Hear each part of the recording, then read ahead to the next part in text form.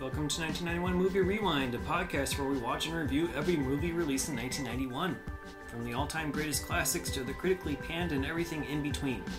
We will rediscover forgotten fan favorites and uncover hidden gems as we explore the depths of direct to video.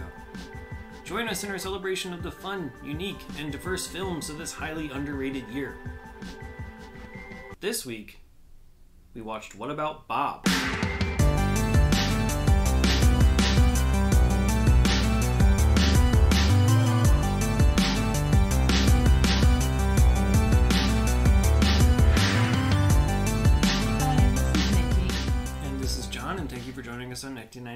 Rewind. In What About Bob, renowned psychotherapist Dr. Leo Marvin, played by Richard Dreyfuss, is about to release his new novel, be interviewed by Good Morning America, and go on a month long vacation with his family. The only thing standing in his way is his brand new patient Bob Wiley, played by Bill Murray, who is so dependent on therapy that he tracks the Marvin family down and refuses to leave. Screenplay by Tom Schulman, directed by Frank Oz, and released on May 17th, 1991. Have you seen What About Bob before? Yes, I have. You knew about Bob. Yeah, you haven't? No, I, I, I actually have. I Oh. saw it. I did not see it when it came out. I probably saw it for the first time like in high school era. Oh. Like when I was working at the video store, is like one of the things that I watched to try to get caught up with some of the classics that I missed. this is a classic then? Well, I mean, I don't know. It's I'm a movie that a lot of people talk about. A lot of people know, have this in very high regard, right? I'm kidding. I didn't like it at that time, like at all. I I mean I I liked certain scenes which I still like the same scenes Yeah, I when we watched it again. I don't know. Maybe I just wasn't. Again, this is like high school era, right? So like maybe I just wasn't in the right mindset, or I don't know. I wa- I watched it alone, so maybe that was a factor too. You don't have like people to feed off of, which is sometimes helpful with comedy. Mm. Um, but watching it again this time, I enjoyed it a lot more, possibly because I wasn't expecting anything. Like I expected to kind of hate it, and so when I didn't hate it, Mm. that just kind of um, elevated the whole thing. But I know that a lot of people out there love it. I don't understand, but to each their own. I guess. Yeah, I don't understand the love for it. I don't know if it's because of Bill Murray. I'm trying to think of like Uh. Ghostbusters 2. I know. Like okay, he did like Scrooge and stuff like that. I'm trying yeah, to think yeah. of like Scrooge was probably like one of the more So recent he did, ones. he had done. I'm um, thinking like Ghostbusters quick change 2. right before this. so Okay. So I'm thinking of like his Ghostbusters roles. yeah, So like 1 and 2. So 2 was in 89. So like probably after that. Even though he is, but yeah, he had been already right. He, he was like a breakout but being star more in SNL. established as like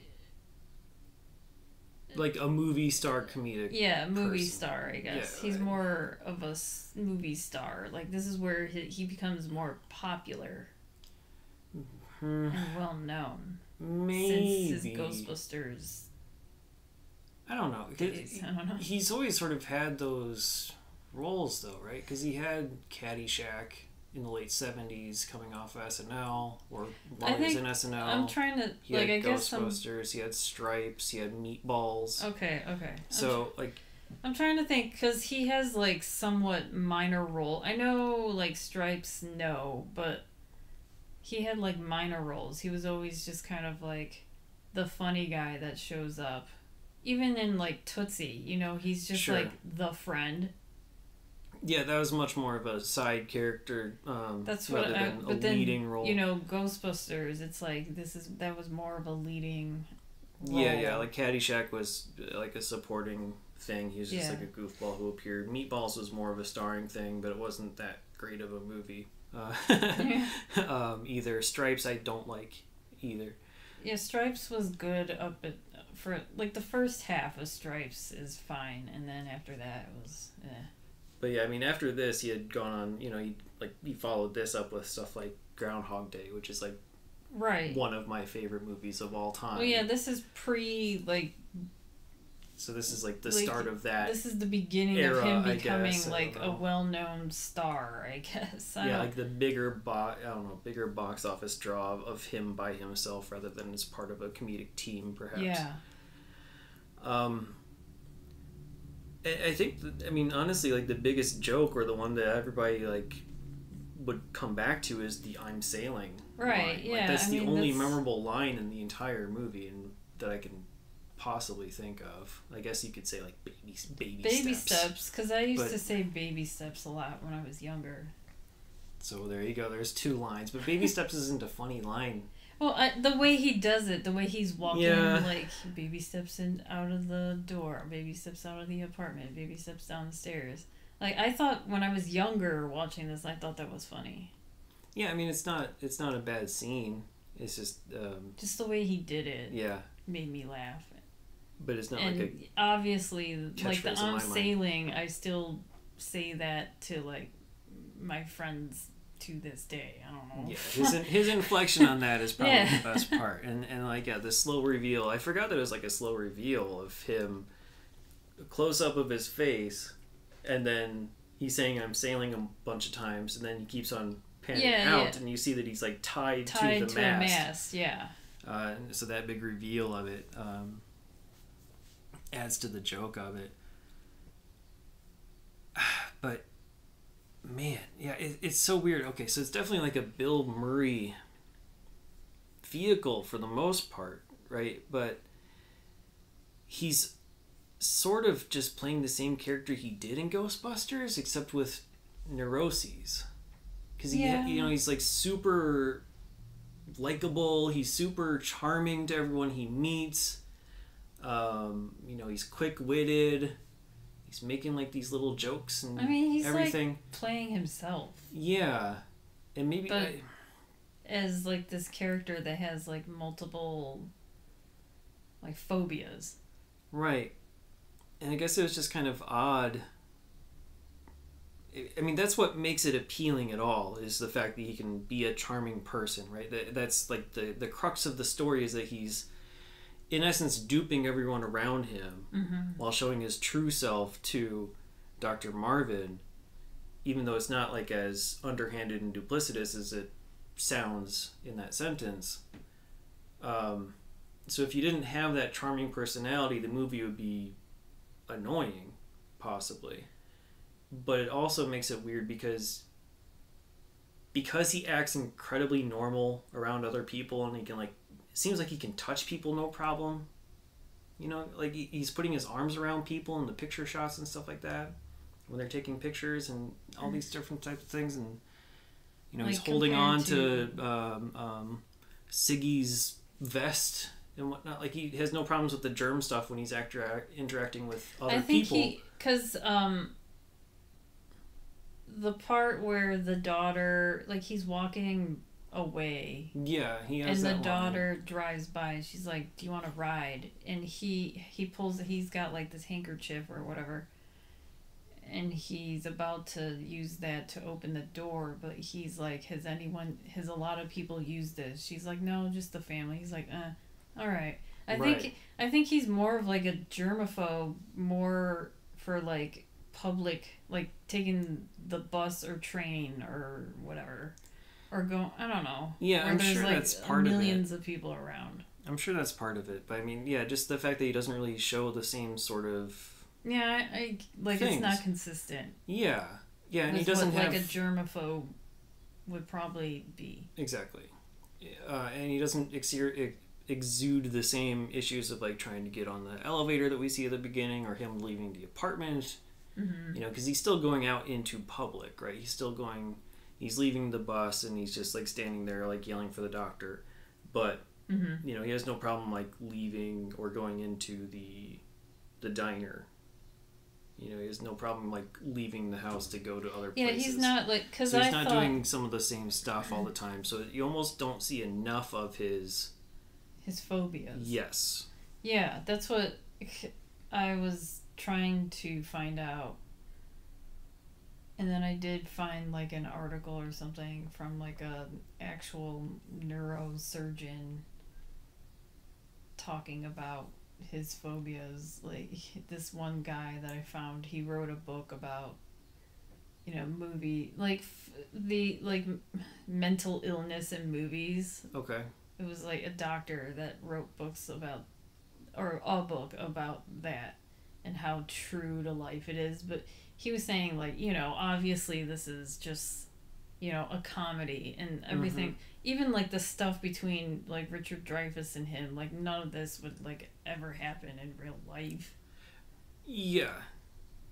I mean, of course. yeah but but i'm just trying to say like i know that he's emoting all these phobias but he doesn't like act it out throughout the entire movie Yeah, and, and I don't except know. for like the beginning Exactly, and I think that's part of my. I don't, I don't know if it's a problem But- with the movie, but I mean, it's it, it is odd. It is Yeah, off-putting. unless it's like his way of trying, like he's trying to help himself. Like he he talks himself into doing these things. He's like, okay, you're gonna do this, right. and he like, I don't know. And then that's with the whole thing with the baby steps. Like he he's like really obsessed. He becomes like really attached to the book that you know Richard Dreyfuss's character. Yeah, he gets Row. attached to the catchphrases. Yeah. Because he did. I don't think Like, he, he actually read it- the book. Yeah, yeah, he He just got just- like you know Richard Dreyfuss is just like you know giving him like a synopsis of what the book is, Mhm. and he's like, oh okay, and he takes like literal. He's taking things literal, like oh I have to take literal baby steps to do things, and then Yeah. it really like triggered something in him, like oh this is helping me. Eh, well, it's also yeah. He In just like way. latches on to other things. Like before, Dr. Marvin was his therapist. Right. He was using this other guy, Carswell Fensterwald, which is Yeah. a great name. Yeah, um, and he was just chanting that. He was, you know, that mantra of like, I feel good, I feel great, I feel wonderful, like nonstop. well that was yeah that was so like he something was just replacing it with baby steps. So Yeah. he, he needed something to chant, and it just became that. Yeah, he just takes things very literal. But, um, yeah, I, I don't know. I, I, I understand that concept of like, you know, the family is sort of helping him overcome some of these issues potentially. Um, I don't think that they really explained that very well, if that's what was supposed to be happening. Um, it seemed more like Bob was trying to help the family get over some of their issues, like you know, yeah, and I think Siggy, that's Siggy's yeah. diving thing and whatever, rather than them helping him, uh, even if it's Well, inadvertent. I mean, I think him helping them helped him as well. possibly. Um, but either way, it definitely made Dr. Leo Marvin more Yeah, angry. angry and, and uh, mentally unstable. Um, and I think to that regard, even though it's definitely known as a Bill Murray movie and a Bill Murray vehicle, Richard Dreyfuss's performance in this is incredibly good and powerful because you can see that slow. Uh, that slow Anger, build up, yeah. yeah. You can like the the teapot is boiling, right? Like, it's, Mhm. you know, it's just he's getting redder and everything is boiling over until he just like I don't know. So I, I thought his his portrayal of someone who's in the situation where basically nobody else sees any problem with Bob existing or being around at all, and then he's trying to get Bob out of his life, right?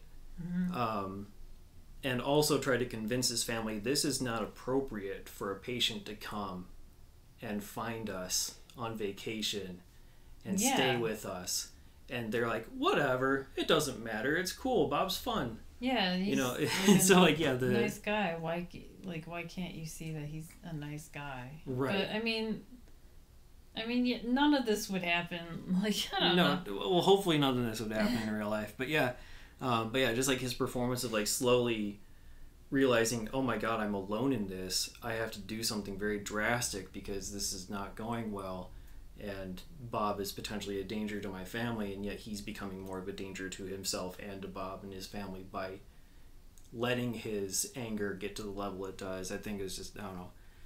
Dreyfuss was like a underrated performance in this for me. Um, and it gets more and more.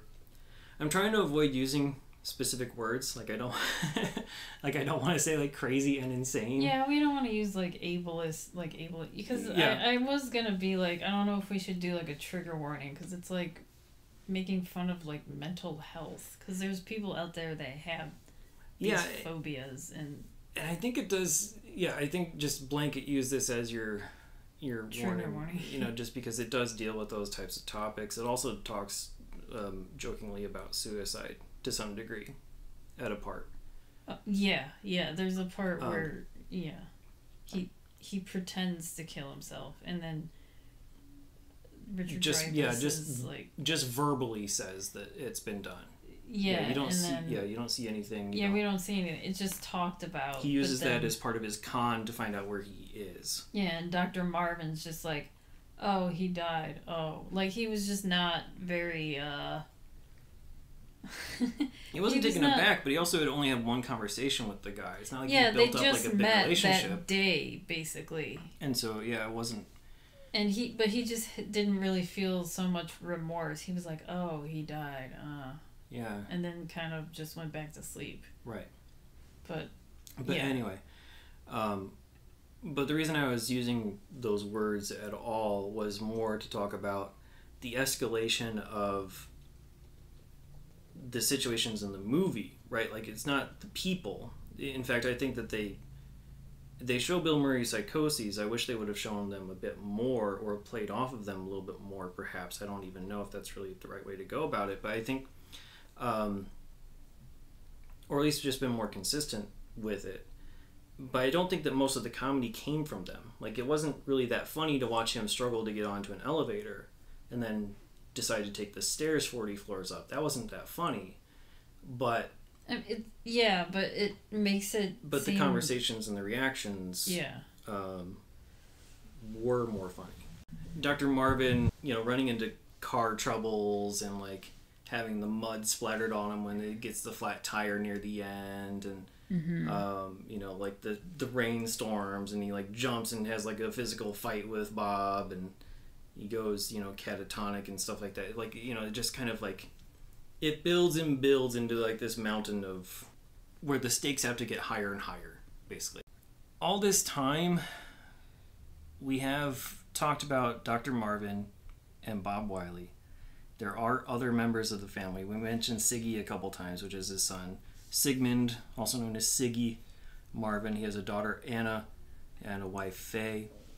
Um, they don't have much of a role in this movie. I don't think. Like, I, I mean, they're almost there just to be like, only there to tell Dr. Marvin that he's wrong. Anna's Yeah. only there to bring him out on that boat for the one joke. Siggy's only there to have the diving thing be taken away from. I mean, their. I think their relationship was better. His Sigmund Siggy with Bob because you know when Bob spends the night, Yes. they they kind of talk about their problems Yeah, they relate to each other. Um, in a way. They both relate because I mean Siggy's going through his own stuff. He he he's like going through a goth phase. He's like obsessed with death. And when I was younger, I like identified with Siggy because even to this day, I'm obsessed with death. Like, uh, and then he's like, he's like, I'm just afraid of it. Yeah. He's like Like we're gonna all die. gonna, yeah, we're, all gonna, die. So what's the point of anything? Type Yeah, of a situation. Which, at that age, I was thinking the same thing. And then 30 years later, I still think the same thing. yeah, there's always moments, right? Yeah, for sure. But Um, but yeah, they they sort of talk. They have you they know, kind of go types through their issue and then conversations bill they need because yeah when they're about to go to sleep he's like are you bob are you afraid of death and he's like yeah like they both just have like this come together conversation. Mm-hmm. But then they come over that fear by just, you know, making up like random swear words. like not even. It's Yeah, just like like- random. Because one of Bob's fears, like he said, he doesn't only only fear death. He also fears like developing Tourette's.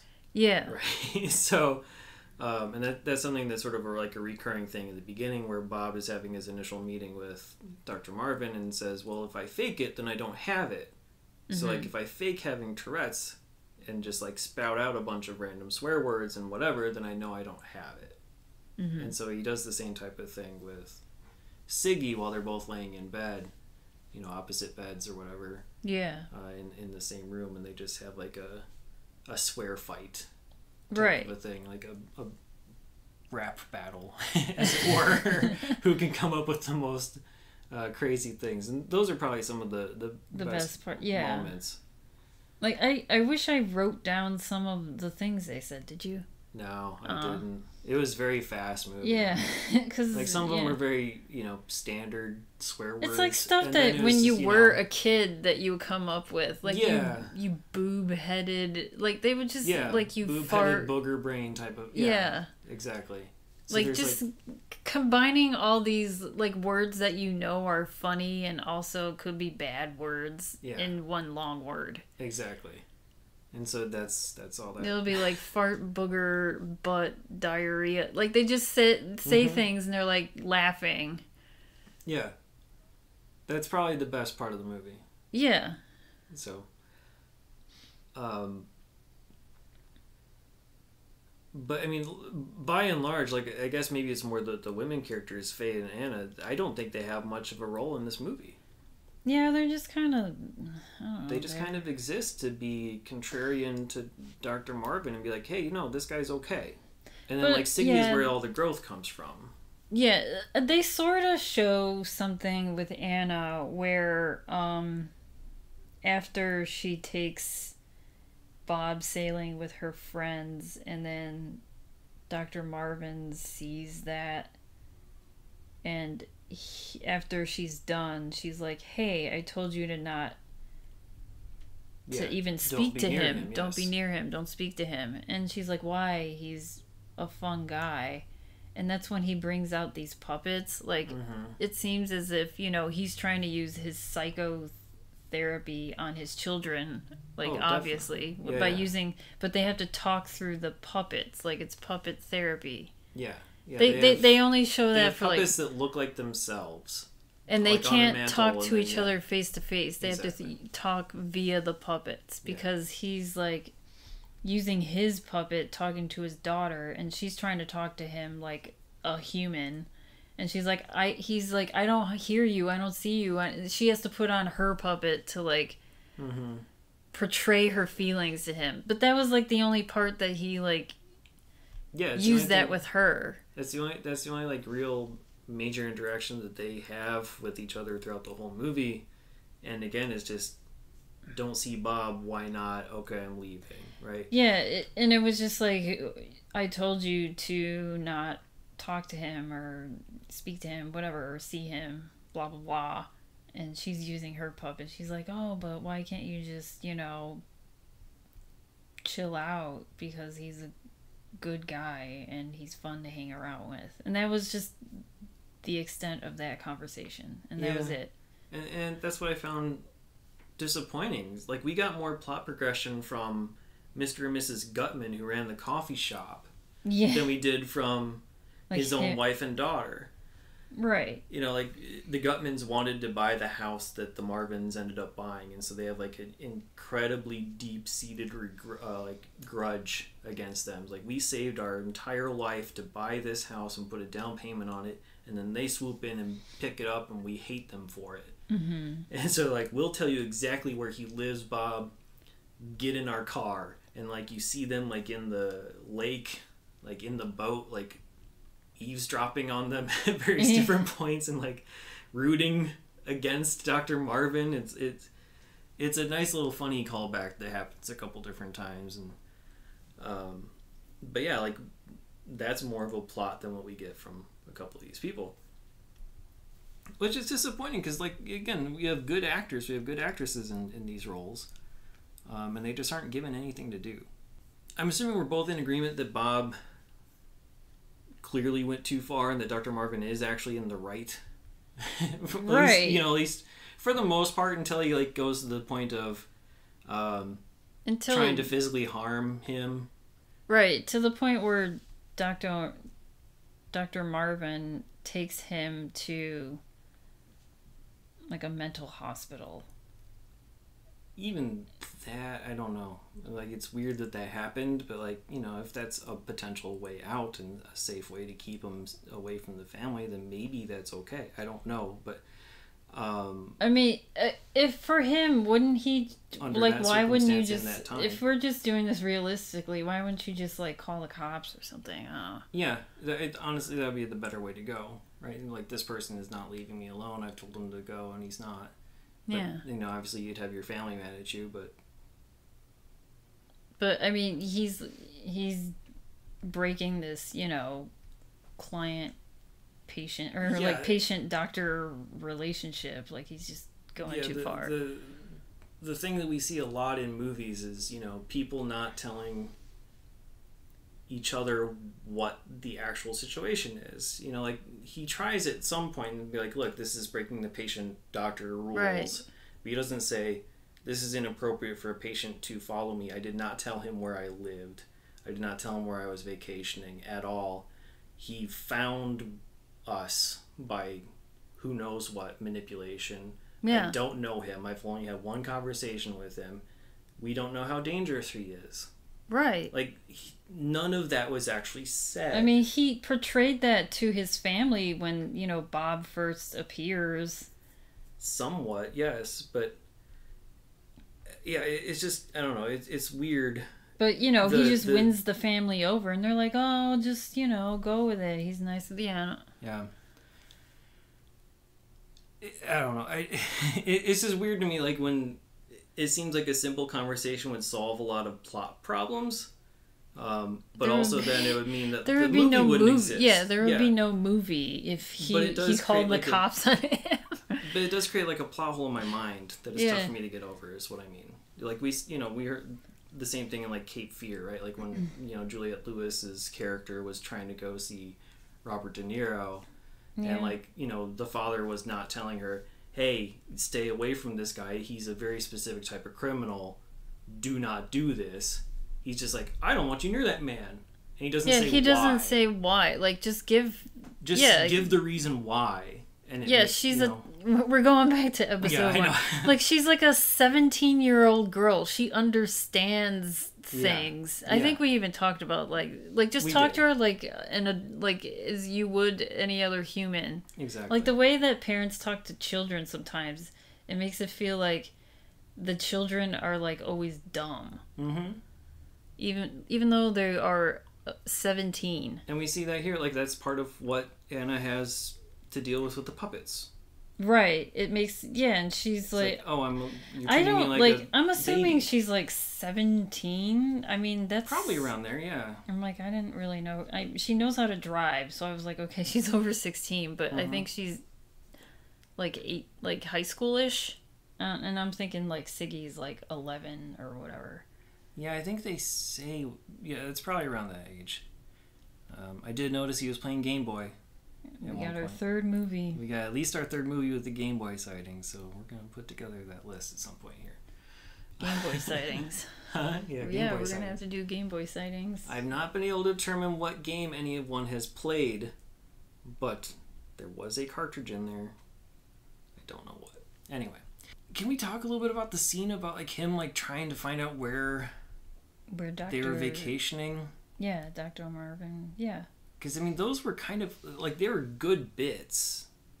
I don't know, like there was like kind of funny scenes.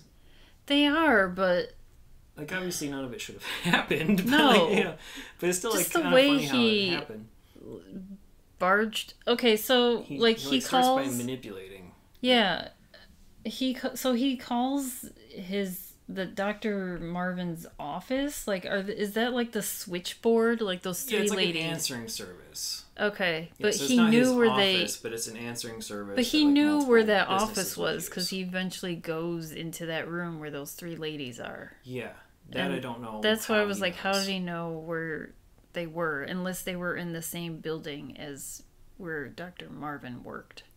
Uh, theoretically, it shouldn't be, but yeah, you're right. That's another sort of plot hole, possibly. That I was trying to figure that. I was like, are they just like three overnight receptionists, like hanging out in that office, just answering phone calls? Mm-hmm. Pretty much.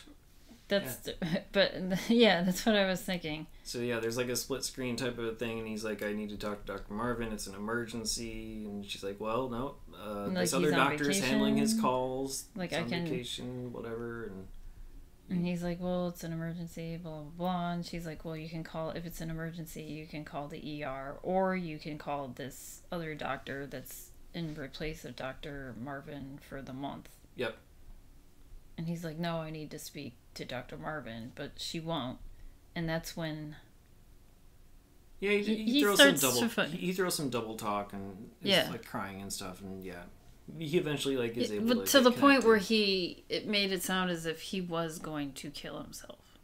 Yes. Because that's when she finally just gives in. And she's Yeah. like, I'll patch you in. She's like, I'm not going to give you his number. Right. Right. Yeah, I'll call him. Whatever. Yeah. Um, because yeah, he also made it sound like no, Dr. Marvin's expecting my call. He said to call, like he said, whatever. Yeah. Whatever. He he made it sound like she was gonna get in trouble or whatever. Um. And then the second time, he hires someone else. He hires what is credited as a prostitute in the credits, but all she does is dial a phone, a payphone, and you know pretend to be somebody, and then hands the phone over to. Well, pretends to be To Dr. Marvin's sister. And I was like, oh, that's right. Yeah. I was like, why would, if they're brother sister, why would the sister call his office secretary or what receptionist line? Right. Why wouldn't they already have each other's phone numbers, like personal I mean, numbers? it is a vacation house, so maybe who knows? But Yeah, well, I don't, that well, his relationship with his sister we can talk about later, maybe Yeah, because yeah, I thought that was weird. yeah. By the way, that prostitute was played by Aida Turturro. Um, had like one line in this movie, basically. Uh, but she is a two-time Emmy nominee for Sopranos as uh, Tony's yeah. sister. Yeah. Um, She's also the co- cousin of John Turturro. yes. She's been in a bunch of stuff, but most notably Sopranos. Yeah, as the sister. Um, and so yeah, that's the second patch through, and then the third one is where Bob goes to the answering services office in a trench coat, holds out his Blue Cross Blue Shield card, exhibits Right. an FBI badge, and claims he's law enforcement and that he's Saying that- investigating yeah. a homicide Yeah. of Bob who had claimed who had committed suicide. Right. Uh, And they're they're the three ladies are like flummoxed with this and yeah, th- it's like if you they could have been like, "Hey, can I see additional ID or can yeah, I they don't actually look at it, but the camera gets to see the Blue Cross Blue Shield. right that but and then they believe him right, yeah. because he pret- he poses as an FBI agent, which is I don't know, It is very weird. It, so, yeah, like it's- unrealistic, but uh, whatever. It, is kind of funny how he's able to like manipulate and get his way in this whole thing, but yeah. So yeah, he- the he lady. learns- yeah, he, the, he just they go. pretends that he's a detective. He's like, okay, we're, we're gonna try. You know, unfortunately, Bob died or was killed, even though he said by suicide, the homicide said- of a yeah, He's investigating a homicide for Oh. Bob who had committed suicide. Yeah, yeah. yeah. Yep. which I mean that's funny, I Mhm. guess. But um yeah, and then they're like I'm going to need his doc like his doctor's information and blah blah blah. Yeah, if I needed, I needed, if I need to contact his therapist, where would I find him right now? And you know, And they really didn't know. They were just like they mentioned that they were going to New Hampshire. they looked up like yeah the address of like the town basically. It was like I forgot what I didn't write down the name of the, The lake. It, lake like, Winnipesaukee that sounds right. in New in New Hampshire and he's like, "Oh, oh, New Hampshire." And then so he just books well, he gets a bus ticket to New Hampshire to Lake Winnipesaukee Mm-hmm. that night.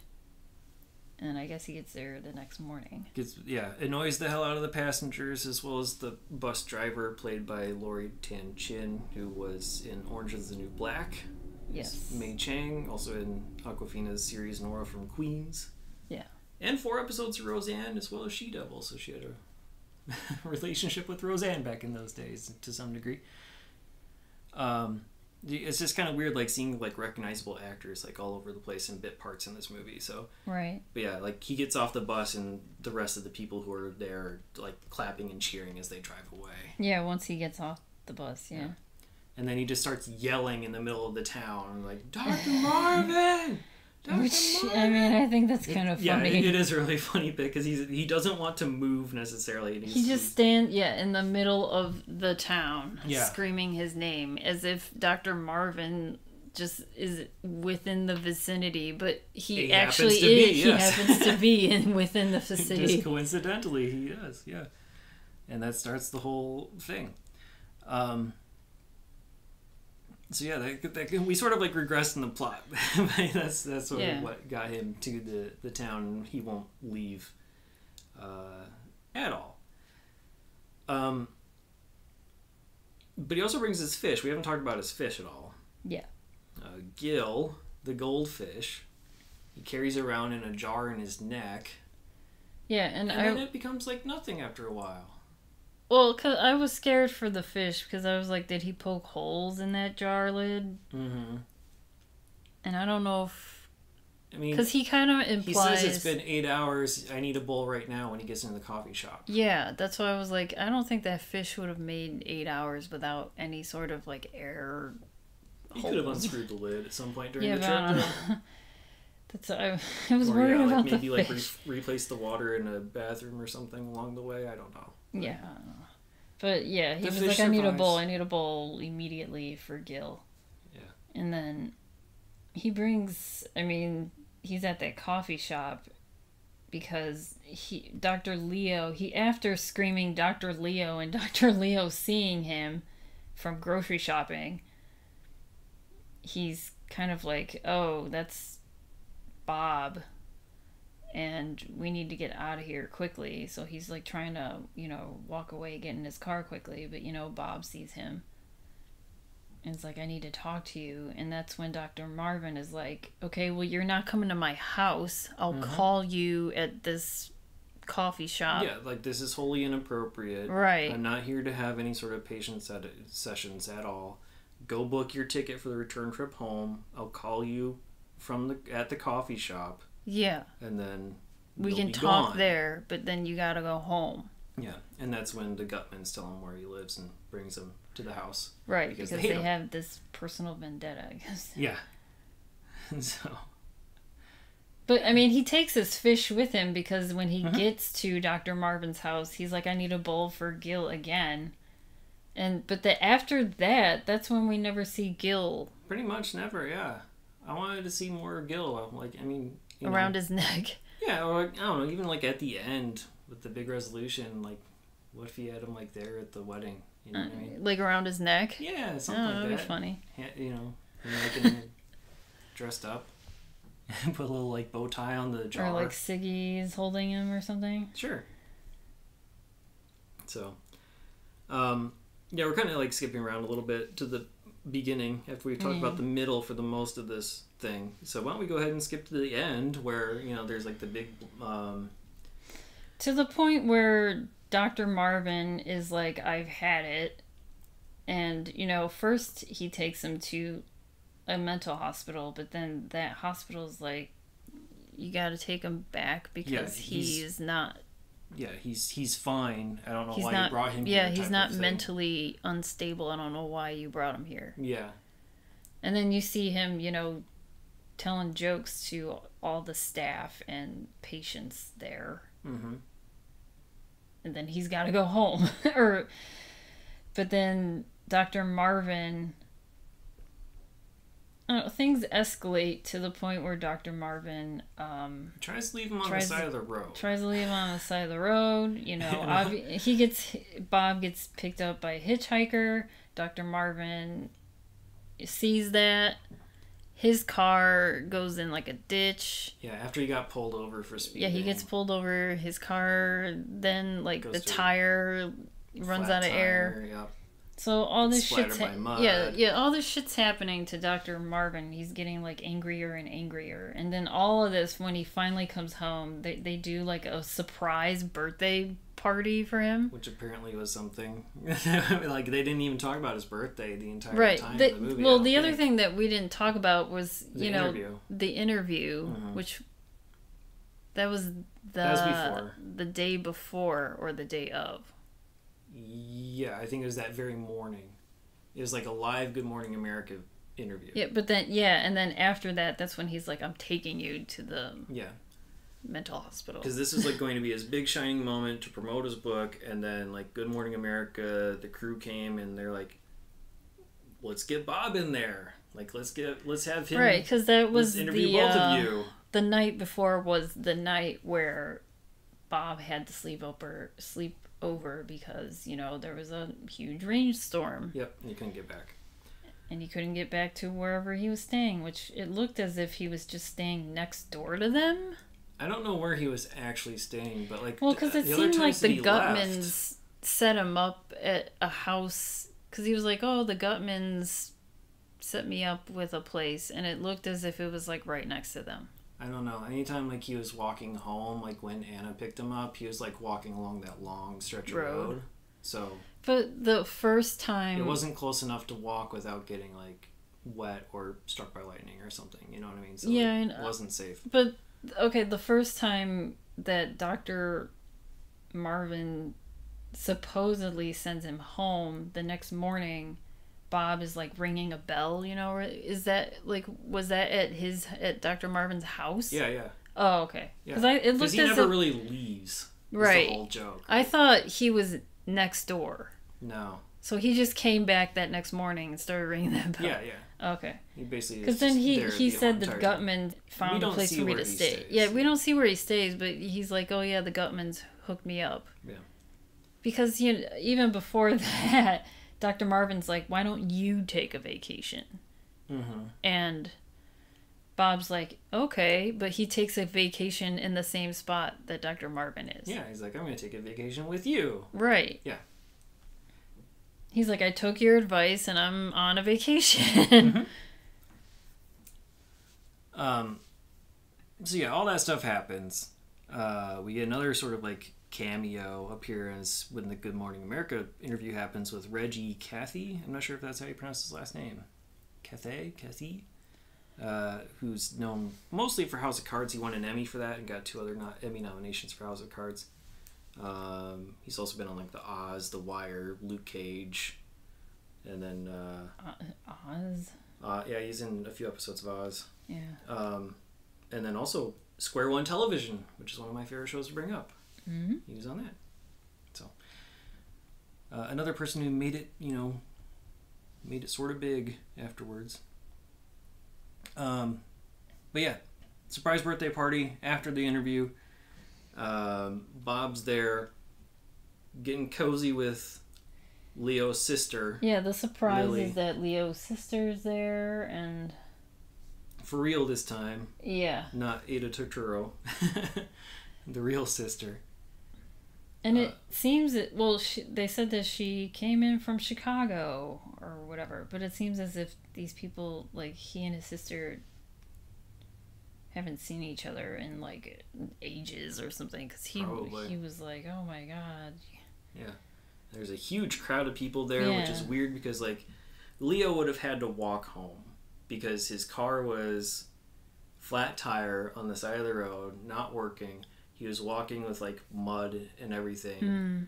uh, and so he would have to like walk whatever trail from wherever he was back home. And here's like this sea of people in the backyard, and like you don't see any cars anywhere. yeah. I mean, it seems like think they I would don't have know. known something was up, unless mean- they he purposely like tunnel vision ignored it. But- Yeah, I don't know how big this town is. If just people walked and over to their house and hung out in their backyard, Yeah, it's tough without- to say. like instead of driving. but he sees Bob with Lily, uh, immediately lun- like jumps and lunges towards him and, and whatever. Um, and then he, yeah, he, uh, later that night he tries to blow Bob up. he, Yeah, he goes he- to a store, steals Yeah, some he tells he explosives. and- goes to the store, he gets gasoline, whatever, It's- like you know, it's explosive. Like it's bombs. Yeah, it's explosives and uh, and a shotgun.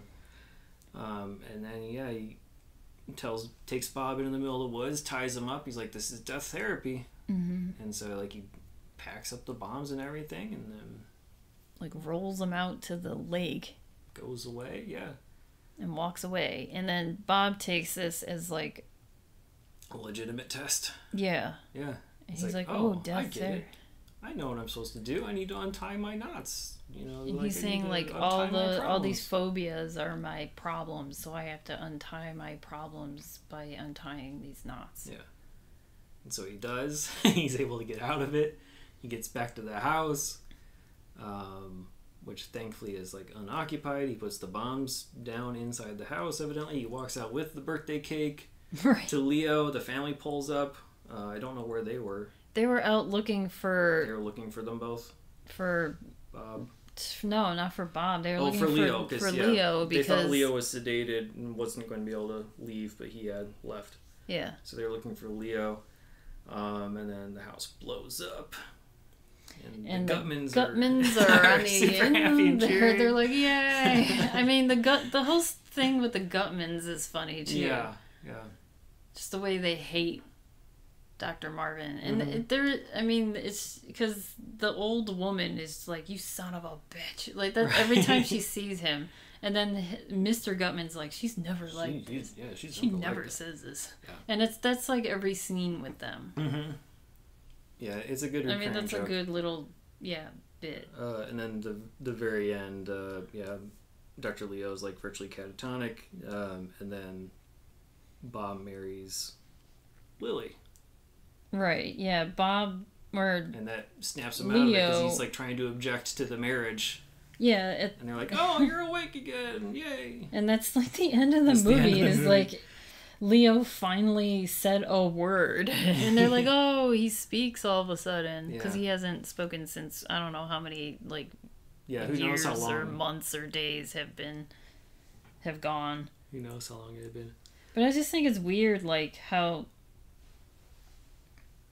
just, I I mean, the sis Lily is like barely in it, Yes.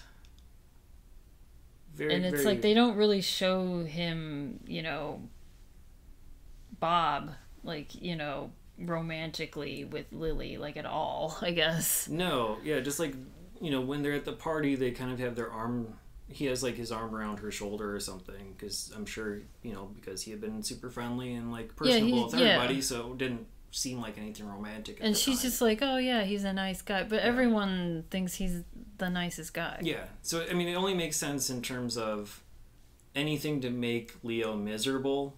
So of course, him marrying the sister would make him the most miserable. So that's Yeah, why it happened, type of thing.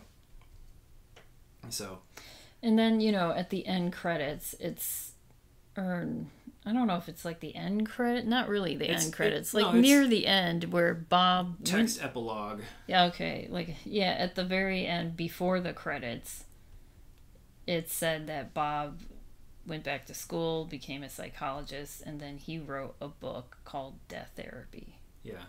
And that Leo is suing him for the rights. Yes. The end. That's it. no bloopers. Nope.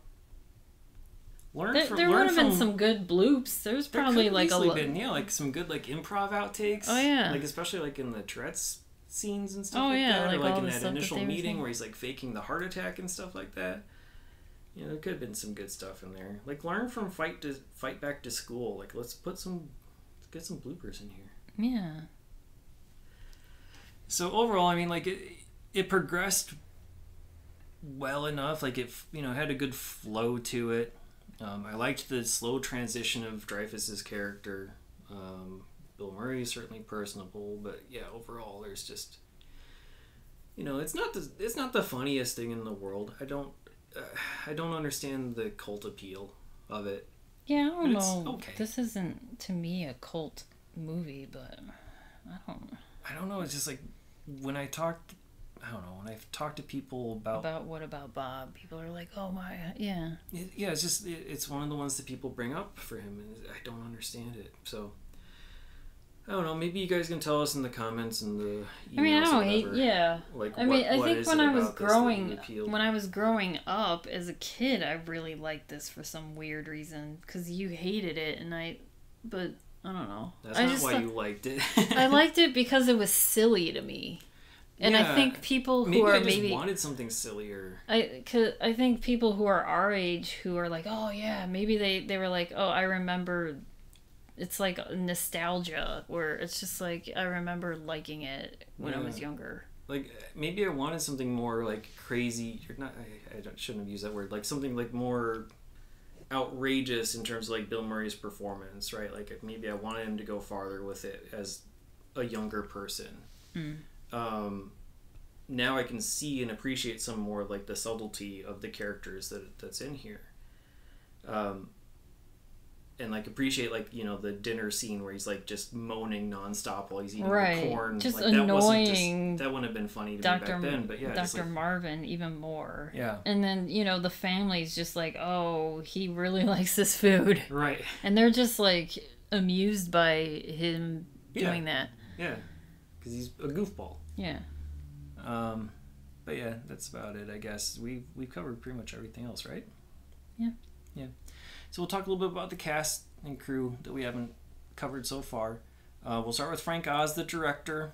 Uh, he does have an Emmy win and four nominations for The Muppet Show. I think pretty much everyone who knows who Frank Oz is knows him for his voice acting work because he does work with the Muppets and has since basically the very start. Um, he's the voice of Miss Piggy, Fozzie, Cookie Monster, Grover, Bert, Animal, Sam the Eagle. He's also the voice of Yoda in the Star Wars movies. As a director, he's also done Dark Crystal, Muppets Take Manhattan, Little Shop of Horrors, Dirty Rotten Scoundrels, and also in 1991 he did Muppet Vision 3D for Walt Disney World theme parks in addition to this. So, no way to watch those types of things anymore, unfortunately, but uh, that was his other 1991 credit. Writer Tom Schulman is an Oscar winner for Dead Poet Society. Um, he's also done Honey, I Shrunk the Kids, movie Second Sight, and Eight Heads in a Duffel Bag, so he kind of uh, lost the prestige as he went along the Yeah. road there a bit. Um, Bill Murray, we talked about a lot. He has an Oscar nomination for Lost in Translation. Surprisingly, that's really his only Oscar nomination. He won a Golden Globe for that role. He has two Emmy wins. One is for SNL, uh, and the other is for Olive Kitteridge, which I forgot was a thing that existed. Um, he won the Spirit Independent Spirit Award for Rushmore and also Lost in Translation. Um, we already talked about a whole bunch of his other credits in there as well. Um, but I will mention uh, he is nominated. The only award for this movie um, nomination is worth mentioning is the MTV Movie Awards. He was nominated for the best comedic performance uh, for this, but he lost to. Can you guess? Comedy. Best comedy performance at the MTV Movie Awards. Is it a movie we've seen? Not yet for the podcast, no. Oh. Uh, Billy Crystal for City Slickers won. Oh, okay. Won the day. okay. Uh, but he had later been nominated for the MTV Movie Awards for Groundhog Day, Lost in Translation, and Zombieland. So, uh, Richard Dreyfuss, where I talked about him, he's an Oscar winner for Goodbye Girl. At the time, he was the youngest Academy Award acting winner of all time. Uh, he's been nominated for Mr. Holland's Opus. Uh, he's been nominated for the Golden Globes for American Graffiti. Um, he's obviously been in Jaws, Close Encounters, and Krippendorf's Tribe. Uh, we'll see him in a couple other 1991 movies, Once Around and Prisoner of Honor. Julie Hagerty played his wife, which we barely talked about like at all. We didn't even mention her by name during this whole thing. Oh, yeah. Um, I mean, I mentioned her last week because she was in that one show, and I forgot the name of that show. Princesses. Princesses. yeah, that she was the other part- thing that she was doing around this time. Yes. Her first role, as far as I can tell, ever was Airplane. So it was a very good first role for her. She was in like Lost in America and Beyond Therapy, and also more recently Marriage Story. Um, and she has a Razzie nomination for Freddy Got Fingered. So runs the gamut. But I really liked her performance in this. I think honestly, like her timid voice, like made her lines funnier. Yeah, just her demeanor. Mm-hmm. Just yeah. Definitely. Uh, Kathryn Irby, Herb, Irby, E R B E. I really don't know how to pronounce it. Uh, she played Anna, the daughter. Um, she was in the TV show around this time called Chicken Soup. Actually, I think it was a couple years before, uh, which was a TV show that starred Jackie Mason and Lynn Redgrave. I'm not sure if you remember that at all, but that was a thing that existed. Um, she was also in Mighty Ducks 2, Stir of Echoes. She had a role in Oz. Yes. Uh, she was in Law and Order Criminal Intent for 144 episodes. And she's also married, or was married, uh, in 1993 to Terry Kinney, hmm Who's also Who- in Oz. who was also in Oz. Uh, we talked about him when we covered Talent for the Game, co founder of Steppenwolf Theater. Fran Brill played Sister Lily. Uh, she's also a Sesame Street person. She rarely does like on camera work. Um, she's the voice of Zoe, or Zoe? Zoe. It must be Zoe. Yeah. Uh, she's a later character. She wasn't around when I watched Ses- Sesame Street. But she was also the voice of Prairie Dawn on that. Uh, she also did some voices on the TV show Doug, um, alongside Doris Belack, the one who played Dr. Tomsky at the uh, the insane asylum thing they took him to. Oh, okay. Uh, oh, okay, yeah. Doris was Tippy Dink on Doug, Hmm. which is interesting. So we had two Doug voices in this cast, which is cool. Um, and then I think lastly I want to mention uh, Marcella Lowry, who played Betty, the switchboard operator that he got, you know, Yeah. manipulated a bunch. She's going to be in the 1991 movie New Jack City, so we'll see her again pretty soon. But she has a very recognizable face. I'm like, where did I, where do I know her from? Could be in many different things. She's in a couple episodes of The Cosby Show. Um, she was in 74 episodes of Ghostwriter, if you ever watched that on PBS. W R I T E R, you know the the kids show. Um, she was on 105 episodes of a show called City Guys, which was kind of like kind of like Saved by the Bell, I guess. I've never heard of it, Mm-hmm. but like it's you know the quote unquote urban version. Um, so I don't know. Uh, and then she also played Donovan McNabb's mom in those Campbell soup commercials from like 10 years ago. So you've seen her a whole bunch probably, but that's that's who that is. Um, and then there are some people we've we've talked about. So good, pretty good stacked cast. Uh, the last person, oh, I'm sorry. I did want to pause on the credits really Yeah, quickly we, to I talk was like, about. you didn't talk about Siggy, the most important.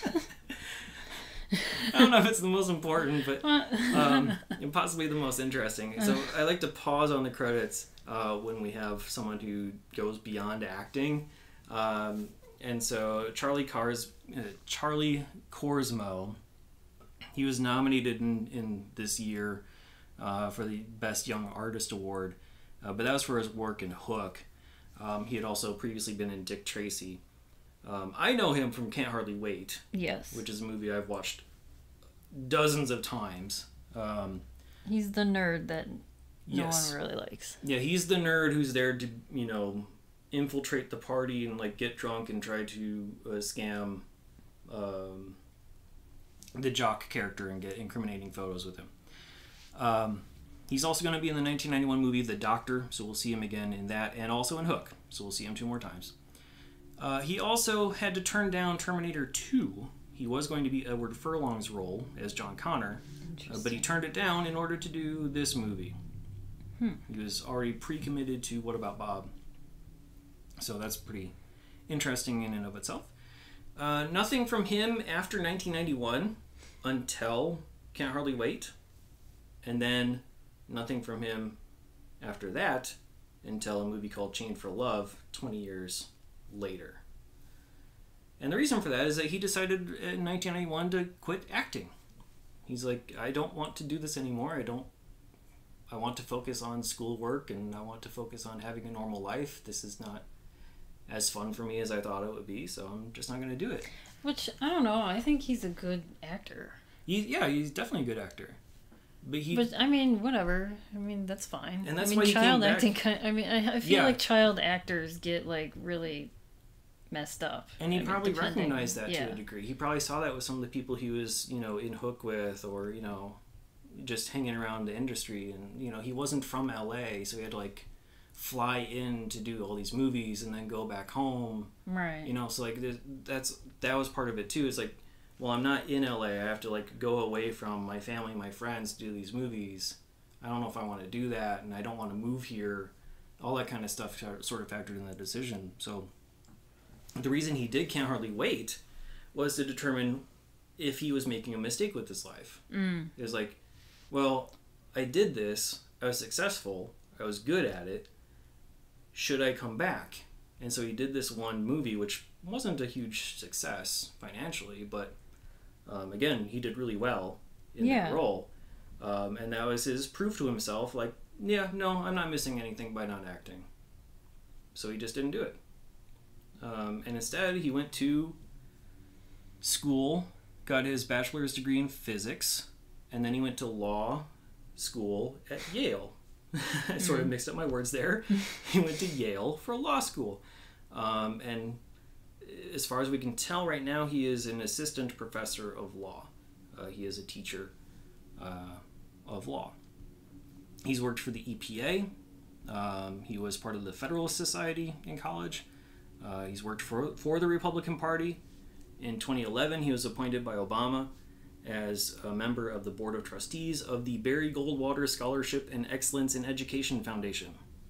So he's well regarded in, in the legal field, at least in, in you know to get these types of positions and recognition, uh, and uh, be trusted to be teaching fellow law students or future law student, whatever you want to call it. So that's how Charles Cor- Korsmo's life turned out so far. On to true crime and pop culture we go, I guess. Yep. So I haven't done this in a while. Not since maybe Don't Tell Mom the Babysitter's Dead or even with Freddy's Dead, where I just give certain facts about behind the movie, like filming locations and other info. Yeah. And then I found out something else that they were going to make a TV show. Oh, about this? Yeah. Oh, interesting. So that's what I'm gonna talk about. All well, because we we're, we're already like almost an hour in. So well, yeah, and also we've had a lot of movies in May of 1991, 91. so yeah, there's we've had a lot of movies that have a lot of song info. so a lot of the music and TV have been talked about. Like we had Europa, which is May 12th, Pit and the Pendulum, which is May 31st, and then Rock and Roll High School that was May 23rd. So Yeah. it was just been like repetitive stuff. Next year we'll probably, or next next week we'll probably have some good stuff because it'll be a whole new month we haven't covered at all. Yes. So, one of the things I found a couple articles, one of them was this year because it was like a 30th year recognition thing from this we- or website called Rare Entertainment and um it talked about how Bill Murray and Richard Dreyfuss did not get along on set. And maybe that amplified like the anger so much with Richard Dreyfuss. Hmm, maybe. So there the onset feud director Especially if Bill Murray knew how to like press his buttons. That's Yeah. exactly I think. I mean, he was doing so Bill Murray was doing his job Mhm. Like on and off set, I guess. I guess so. But then it escalated to the point where um, director Frank Oz admitted that while filming What About Bob, he said it was very difficult. And he said that Murray and Dreyfuss did not get along at all. Bill Murray and Richard Dreyfuss have been interviewed separately at other times, like 10, 15 years ago, just talking about this movie. And they both just don't say nice things about each other. Mm. And in this article, Richard Dreyfuss went out. He just went out and said, like, I'm just gonna tell you right now that I didn't talk about this for years, but Bill just got really drunk one time at a dinner, and this is a quote: "He was an Irish drunken bully, is what he is." He came back from dinner and walked in, and I said, Read this script tweak. I think it's really funny. And Bill put his face next to me, nose to nose. He screamed at the top of his lungs, saying, lungs, saying, Everyone hates you. You are tolerated. There was no time to react, and Bill leaned back and took a, an ashtray and threw it at his face, but I guess it missed him. But, you know, Richard Dreyfuss said that he tried to hit me. Mm. So they just didn't get along. And I I mean, I've read and heard about things how Bill Murray is just He's different things. he's like a people. difficult person. Right. And I don't know if he's like I mean, he seems cuz you know, he comes to Chicago a lot and people see him and it seems like with fan interactions he's fine. I guess when he's like getting drunk, I guess he's just like a mean drunk. yeah. That's what it seems like. yeah, there's you know the cult of Bill, right? Yeah. The- you know that whole thing that sort of exists. But yeah, I've definitely heard that about him as well. That he can be very difficult on set and can understand um, where that impression comes from. Yeah. Then there's like this other article. It was just like 20 random facts about the movie, and it was just saying how they were going to cast um, Woody Allen as Dr. Leo Marvin at one point, but Woody Okay. Allen turned it down because, you know, Woody Allen only works on his own things. Virtually, yeah, That was the reason, yeah, which, I mean, I'm kind of glad. yeah. And then there was also at one point that um, Robin Williams was going to play the Bill Murray character, Bob. He was going to be Bob. But, you know, Robin Williams was in The Fisher King, so, Yeah, which a better, that's a better, fit, role. better fit for him. And then it was also rumored that Patrick Stewart may have played Dr. Leo Marvin as well, Hmm. which that would have been interesting because I mean that's like he would be like on Next Generation at that point, right? Yeah, probably for a couple of years, right? Yeah. that start? Eighty-seven ish. Yeah, so I mean he's like well into TNG, so it would have been interesting. It's, yeah, it, it, it might have been tougher for people to separate him from like the- Picard. Yeah. But I mean, he's like a comedy. I mean, he's well known to be like a funny guy, I guess. Yeah, I so it would have been funny to see him in that. And uh, so the another a couple other articles that I found about this was that they were going to make this was in 2017 and it was from Variety and it it was like two separate articles. One came out in March in 2017 and then a second one came out in May 2017 the March article said that NBC is casting for pilot about what about Barb so they were going to do a female centric TV show Okay. and it was casting Leah Remini as the Dr. Leo part. Okay. And then this um, British actress, I've never I was trying to look her up and I couldn't really find her in like anything else. Her name is Jess, Jessica Gunning. She was going to play Barb. Okay.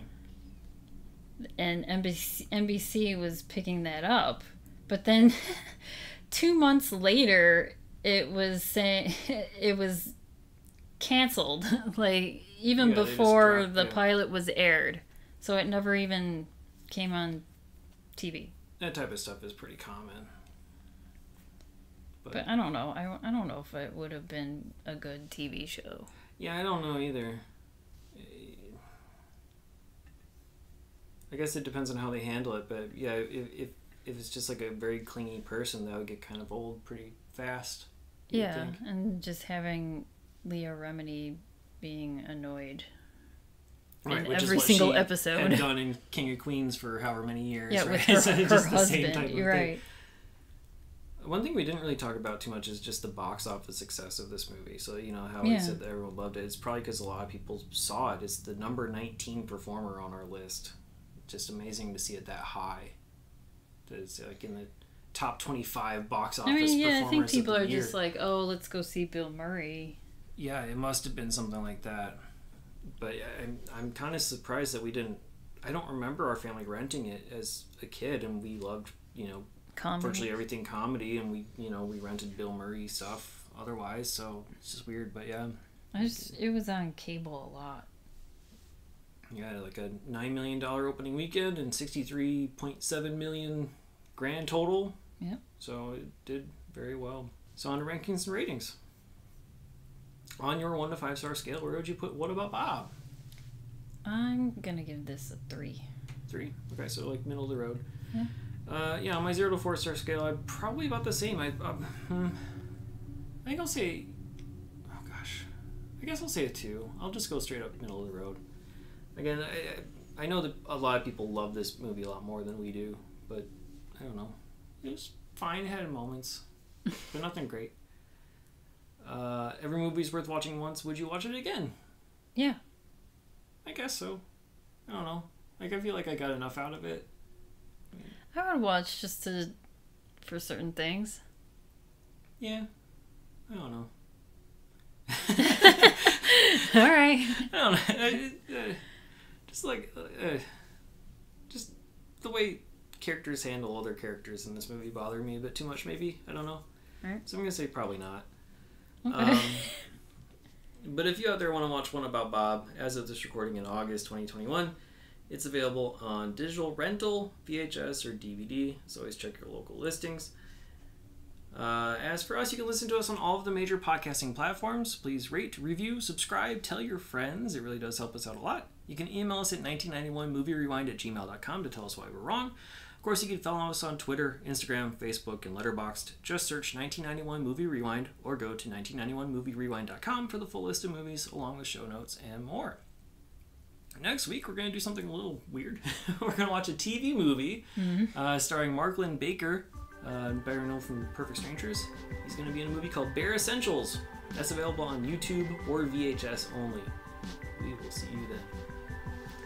Thanks.